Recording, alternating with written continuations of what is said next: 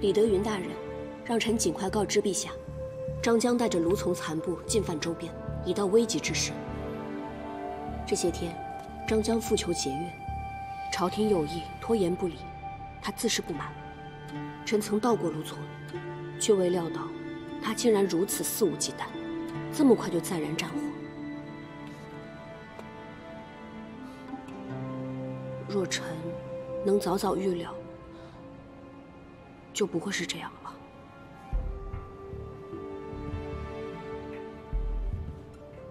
张江狼子野心，居心叵测，朕早有预料，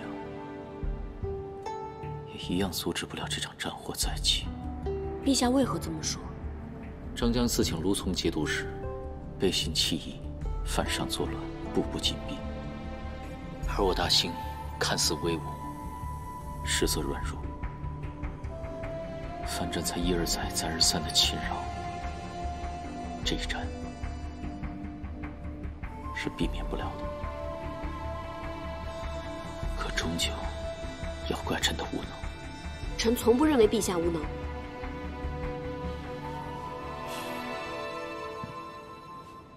别担心，朕已有解决之策。